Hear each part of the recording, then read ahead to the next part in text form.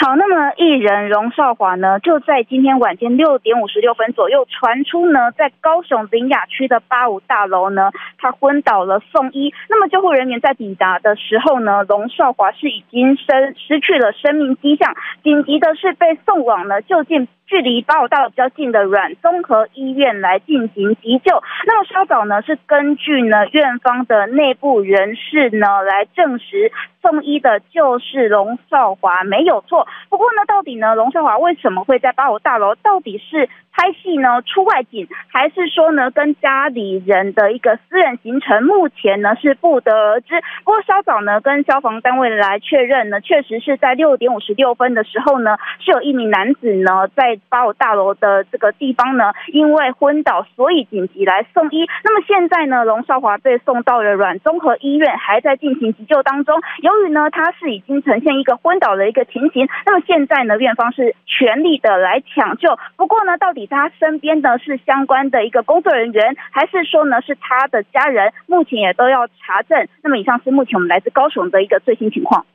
请订阅、按赞、分享 TVBS 新闻频道，并开启小铃铛。也请下载 TVBS 新闻 APP，随时掌握国内外大事。